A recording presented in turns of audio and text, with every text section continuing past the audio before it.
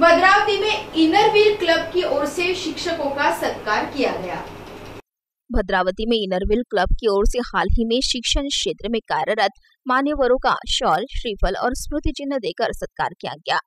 इन सत्कार मूर्ति में Fairyland school के अध्यक्ष एडवोकेट युवराज धानोरकर, कर्मवीर विद्यालय के शिक्षक विनोद घोड़े, प्रेमा पोट दुखे जिला परिषद शिक्षिका उर्मिला बोंडे, मेघा शेंडे आदि मान्यवरों का सम्मान चिन्ह और पुष्प गुच्छ देकर सत्कार किया गया।